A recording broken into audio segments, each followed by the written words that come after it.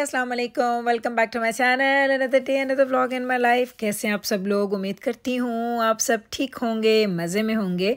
हम भी अल्हम्दुलिल्लाह, बिल्कुल ठीक ठाक मज़े में। तो जनाब, आज का ये व्लॉग मैंने कल संडे को बनाया था। और संडे को आपको पता है बैबरस अंदर जाना दोनों जॉब करते हैं और बच्चे, छोटे बच्चे घर पर होते हैं। हम लोग जाने लगे थे बाहर कॉफ़ी पीने के लिए तो जब्राइल ने बोला कि मुझे कुछ लेना है एटम हॉटन से।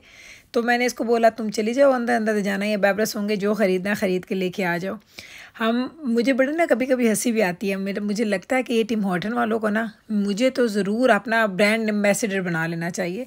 क्योंकि जितनी एडवर्टाइजमेंट मैंने इनकी की है ना, किसी ने भी नहीं की होगी। ख़ुद पीने जाती हूँ, रोज़ बताती हूँ, बच्चे काम करते हैं, बताती हूँ, बच्चे क्या खाते हैं, वो बताती हूँ। तो ये मेरा तो ब्रांड एम्बेसडर बनना बनता है इनका। सीरियसली बहुत ज़्यादा मैंने इनको प्रमोट किया है। लेकिन वो कहते हैं ना कि इसमें कोई मजबूरी नहीं है, क्योंकि ये मेरे दिल से मैं करती हूँ और मुझे बड़ा अच्छा लगता है ये सब बताना, या जो जो चीज़ें मैं खाती पीती हूँ, जो मुझे अच्छी लगती हैं, उसका ऑनेस्ट रिव्यू आपके साथ शेयर करना मुझे बड़ा अच्छा लगता है। तो अब हमने छोड़ना है जिब्राइल को घर, उसके बाद हम जाएँगे कॉफ़ी पीने के लिए और फिर वापस आके मुझे आज बनानी है बिरयानी। जी जनाब, आज मैंने बनानी है बिरयानी, क्योंकि बड़े दिनों से दिल कर रहा था, रमज़ान के बाद मैंने अभी तक नहीं बनाई है। तो बस अभी पहले चलते हैं, उसको छोड़ते हैं, घर पर ड्रॉप करेंगे, फिर हम निकलेंगे तो फिर हम जाएँगे खाने के लिए बिरयानी। ये सामने आप बिल्डिंग देख रहे हैं ज़रा। ट्रस्ट मी कि ये बिल्डिंग इन्होंने एक डेढ़ महीने में इतनी बड़ी बिल्डिंग ये खड़ी हो गई है। मुझे लगता था कि ये लोग जैसे जिन हैं। ये इंसानों का काम नहीं है जिन्नों का काम है। सीरियसली इतनी बड़ी बिल्डिंग बनाना और ये सारा एरिया अगर आप देख रहे हैं अंडर कंस्ट्रक्शन है, यहाँ पे पता नहीं और क्या क्या बनने लगा है। और यहाँ पे बिल्कुल फ्लैट था, कुछ भी नहीं था यहाँ पे।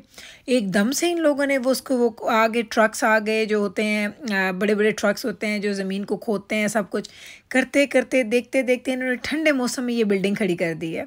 और मैं सोच रही थी कि ये बिल्डिंग बनी है तो जिसके आगे जो घर हैं उनकी प्राइवेसी कितनी ज़्यादा डिस्टर्ब होगी? क्योंकि मैं कभी भी इसी ऐसे घर में नहीं रह सकती, जिसके बिल्कुल बैक पे या जिसके बिल्कुल फ्रंट पे बिल्डिंग्स हों। क्योंकि आप लोग फिर नीचे होते हैं, वो लोग आपसे हायर होते हैं तो आपकी विंडोज़ खुली हैं या अगर लाइट्स ऑन है तो वो बहुत ज़्यादा प्राइवेसी का बहुत प्रॉब्लम हो जाता है। तो मैं सोच रही थी, जो लोग भी उन घरों में रहते हैं, जिनके भी वो घर हैं, उन बेचारों को क्या पता कि कभी यहाँ पे इतनी ऊँची बिल्डिंग बन जाएगी। लेकिन हो सकता है ये सिर्फ़ मेरा मसला हो कि मुझे प्राइवेसी का थोड़ा ज़्यादा मैटर करता है। कुछ लोगों को शायद ये मैटर ना करता हो तो मैं तो खैर खैर अपनी आपके साथ ओपिनियन शेयर कर रही थी कि मुझे बहुत अजीब लग रहा था कि इन लोगों ने क्यों इतने ज़्यादा घरों के साथ पीछे एकदम से बड़ी सी बिल्डिंग खड़ी कर दी है। एंड आई थिंक यहाँ पर कुछ और बिल्डिंग्स भी बनेंगी, क्योंकि जगह ज़्यादा है। और अभी वहाँ पे कंस्ट्रक्शन भी चल रही है। तो देखते हैं क्या करते हैं, क्योंकि इनका मुझे ये पता है कि जब ये एक दफ़ा कंस्ट्रक्शन शुरू करते हैं तो उस एरिया को बिल्कुल डेवलप करके ही ये जान उसकी छोड़ते हैं। उससे पहले पहले ये जान नहीं छोड़ते। तो अभी हम लोग जा रहे हैं घर घर मैंने जब्राइल को ड्रॉप कर दिया था और अब हम निकल चुके हैं हमारी कॉफ़ी पीने के लिए। अब हम वापस जा रहे हैं हमारे राउंड में। सारा दिन हमारी कार जो है ना, हम कभी कभी कहते हैं, लगता है जैसे ऊबर या क्रीम जिस तरह, जैसे पाकिस्तान में उसको क्रीम कहते हैं, हमारे पास यहाँ पे शायद ऊबर है आई डोंट नो उधर भी ऊबर है कि नहीं है। मैं पाकिस्तान ज़्यादा वहाँ जाती आती नहीं है तो मुझे पता नहीं है, लेकिन हमारे पास चूँकि ऊबर होती है तो हमने अपना, हमने गाड़ियों का नाम रखा कि हमारी ऊबर है। सारा दिन ये सड़कों पे घूमती है, एक बच्चे की जॉब किसी टाइम पे है, उसको छोड़ना, फिर दूसरे को छोड़ना, फिर एक को लेना, फिर दूसरे को लेना। मैंने कोई काम करना है तो जाना, आना कॉफ़ी पीनी है तो जाना, आना, जाना के बाबा ने जॉब पर जाना है तो उन्होंने जाना है। बच्चों को लेना, छोड़ना, यार सारा दिन हमारी गाड़ियाँ सड़कों पर होती हैं। अब बच चुके हैं तकरीबन पौने पाँच शाम के हो चुके हैं। मैं गई थी बाहर मैंने कॉफ़ी पी, वापस आ गई। अब मैं रिलैक्स बैठी हुई कभी कभी ना इस वक्त राइट नाउ ट्रस्ट मी कि मुझे कोई पंद्रह मिनट हुए होंगे यहाँ पे काउच पे बैठे हुए। कोई फ़ोन नहीं था मेरे हाथ में, कोई म्यूज़िक नहीं था, कोई कुछ नहीं। ऐसे डार्क कर्टन्स मैंने नीचे किए हुए थे, और मैं आराम से सोफ़े पे लेटी हुई हूँ, और साथ मैंने क्या किया, मैंने डिफ्यूज़र जला लिया था। उसमें मैंने थोड़े से ड्रॉप्स डाले पेपरमेंट की मुझे बहुत अच्छा लगता है उसको इनहेल करना।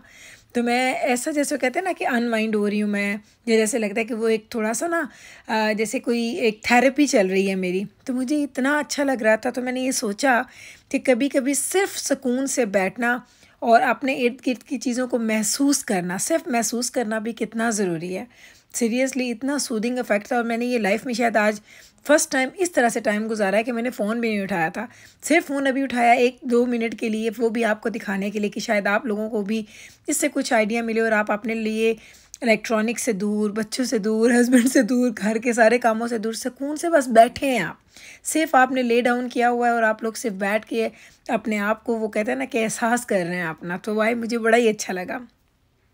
मैंने वो एक्सपीरियंस किया है और सीरियसली मुझे बड़ा अच्छा लगा और मैं आपको कहूँगी, अगर आपने कभी ट्राई नहीं किया ना, एक आध दफ़ा ट्राई करके देखिएगा। अपने आप पे अपनी चीज़ों को अपने वो कहते हैं ना कि जो हम सांस ले रहे होते हैं सिर्फ़ उसको फील करके देखना आप लोग। कीजिएगा और फिर मुझे प्लीज़ बताइएगा कि क्या कभी आप लोगों ने ऐसा किया है? हो सकता है ये मेरे लिए नई चीज़ हो और आप लोगों को आदत हो आप लोग करते हो अपने लिए ऐसा। मेरे पास ये होता है कि अगर मैं फ़ारिग भी बैठी हूँ तो मैं म्यूज़िक ऑन कर लूँगी कोई टी शो लगा लूँगी और नहीं तो आ, कुछ ना कुछ चल रहा होता है। लाइक मुझे बैकग्राउंड नॉइजेज़ अच्छे लगते हैं। आज मैं बैठी तो मैंने पहले सोचा मैं कोई चीज़ लगाती हूँ, फिर मैं कहने बैठ जाती हूँ, छोड़ देती हूँ। मैं लेटी तो मैं पंद्रह बीस मिनट से लेटी हुई थी, फिर एकदम से मुझे ख्याल आया कि ये चीज़, जो मैं इनहेल कर रही हूँ, उसको मैं फ़ील कर रही हूँ, और वो फ़ील करने के लिए इतना खामोश टाइम हमारे पास होता नहीं है। जाना कि बाबा कि अपनी वो असाइनमेंट्स वगैरह मार्क कर रहे थे, उनका सेमेस्टर का एंड है। छोटे बच्चे अपने अपने होमवर्क कर रहे थे मैं अकेली थी नीचे अपने मेन लेवल पे। तो मुझे बड़ा अच्छा लगा। सच्ची मैंने कहा आपको, मैं बताऊँ, ये बड़ा ही मज़े का मेरा एक्सपीरियंस था। अब जनाब आ जाते हैं, वो तो होगी मेरी तो कहते हैं कि जैसे आप कोई मेडिटेशन कर रहे हो, वो तो होगी बात अलग से। अब यहाँ पे आप देख रहे हैं, बिरयानी बन चुकी है हमारी और अब मैं बना रही हूँ जी शामी कबाब फ्राई करने हैं मुझे साथ में। रायता एंड प्याज मैंने पहले से काट के रखे हैं। इसके साथ हम लोग सैलड नहीं खाते, इसके साथ हम लोग सिर्फ़ अनियंस खाते हैं। रेड अनियंस को मैं सॉल्ट लगा के कभी कभी रख देती हूँ कभी कभी सिर्फ़ पानी में उसको डिप करके रख देती हूँ। और या फिर एक दो दिन पहले अगर मैंने उसको रखा हो फ्रिज में तो बस वैसे ही खा लेते हैं हम लोग। तो वो मैंने किया, अभी हम लोग यहाँ पे करेंगे हमारे शामी कबाब फ्राई और बिरयानी हम लोग सर्व करेंगे, क्योंकि बच्चों ने आना है थोड़ा लेट तो इसलिए थोड़ा थोड़ा लेट करते करते करते आए। सबने डिनर जो है ना, वो अलग अलग टाइम पे खाया है। किसी ने जल्दी खाया है, किसी ने लेट खाया है, लेकिन अलहमदिल्ला बहुत मज़े का डिनर था, हम लोगों ने बड़ा इन्जॉय किया। सीरियसली बहुत बहुत बहुत मज़ा आया आज हम लोगों को खाना खा के। रमज़ान में बिरयानी बनाई थी, लेकिन रमज़ान में बिरयानी का वो मज़ा नहीं आया था। सीरियसली कुछ चीज़ें ना रमज़ान में अच्छी नहीं लगती, जैसे कोल्ड ड्रिंक्स मुझे अच्छे नहीं लगते हैं, कोई भी ना कोक ना पेप्सी कुछ भी मैं नहीं पीती। उसके अलावा जैसे पुलाव वगैरह मैंने एक दफ़ा बनाया अच्छा लगा, लेकिन जो इन्जॉय आप उसको सेपरेटली करते हैं ना, आम महीनों में, वो रमज़ान में नहीं आता। रमज़ान में उसी फ़ूड का मज़ा आता है, बस टेबल भर दो फ्राइड फ़ूड और वो अनहेल्दी चीज़ों के साथ, और बस उसको इंजॉय करो, उसको खाओ। मुझे तो वाकई अच्छा लगता है। अभी चूँकि अभी ताज़ा ताज़ा रमज़ान गुजरा है ना तो अभी तो सोच के मेरे मुँह में पानी नहीं आ रहा। लेकिन मुझे पता है, कुछ अर्से के बाद ना हम लोग बड़ा मिस करते हैं रमज़ान के फ़ूड और रमज़ान की चीज़ें। तो वही वाली बात, जब हम उस टाइम में होते हैं तो कभी कभी हम उस चीज़ की कदर नहीं कर रहे होते, हमें लग रहा था इतने लंबे रोज़े होते जा रहे हैं वीकनेस हो गई है, भूख लग रही है, प्यास लग रही है। लेकिन जब वो खैर से चला गया रमज़ान तो अब आप लोग मिस करेंगे, उसको याद करते हैं, उसकी बरकतों को। उस महीने के ना ख़ास वाइब्स होते हैं। वो वाइब्स आपको पूरा साल वैसे नहीं मिलते हैं, वो सिर्फ़ रमज़ान में ही मिलते हैं। डजेंट मैटर कि आप किसी इस्लामिक कंट्री में रह रहे हैं, जहाँ पे आज़ानें हो रही हैं और उस तरह से रमज़ान सेलिब्रेट किया जा रहा है। या आप किसी भी ऐसे देश में रहते हैं, जहाँ पे इसको सेलिब्रेट नहीं किया जाता बड़े पैमाने पे, लेकिन आप अपने घरों में रह के उसको सेलिब्रेट करते हैं तो भी उसकी वो फीलिंग आती है। तो इस फीलिंग के लिए ये माहौल आप ख़ुद बनाते हैं। तो इस माहौल को जब जब हमने बनाया, हमने तब तब रमज़ान को वो वैसे ही फ़ील किया, जैसे हम बचपन में फ़ील करते थे। हाँ थोड़ी वो बरकतें ज़्यादा लगती हैं, आज़ाने, नमाज़ें और वो चीज़ें डिफरेंट होती हैं, लेकिन यहाँ भी बड़ा मज़ा आता है। आए, मैं पता वॉइस ओवर कर रही हूँ ना तो मुझे अपनी आवाज़ अपनी नहीं लग रही, पता नहीं क्यों। आज जो मैंने आपके साथ अपना एक्सपीरियंस शेयर किया है ना कि सुकून से बैठने का और मुझे लगा कि मैंने बड़ा उसको फ़ील अच्छा किया है तो मुझे वाकई बहुत अच्छा लग रहा था और मैं बड़ा रिलैक्स थी, मुझे लगा बड़ा ही मज़ा आया। मैं कोशिश करूँगी कि एवरी डे पाँच से दस मिनट अपने लिए ऐसे ज़रूर निकालूँ, जब मैं सिर्फ़ अपने आप के बारे में बैठ के महसूस करूँ, मुझे सोचना भी नहीं है उस वक्त किसी चीज़ को। तो चलें जनाब, खाना हमारा रेडी हो चुका है, शामी कबाब मैं, मैंने फ्राई कर लिए हैं, बिरयानी बन चुकी है और ये हमारा खाना। यहीं पे लूँगी आपसे इजाज़त। उम्मीद करती हूँ कि आज का ब्लॉग और आज का मेरे एक्सपीरियंसेस आपको अच्छे लगे होंगे। अगर अच्छे लगे हैं तो कल फिर वापस आइएगा मेरे चैनल पे। मुझसे मिलने।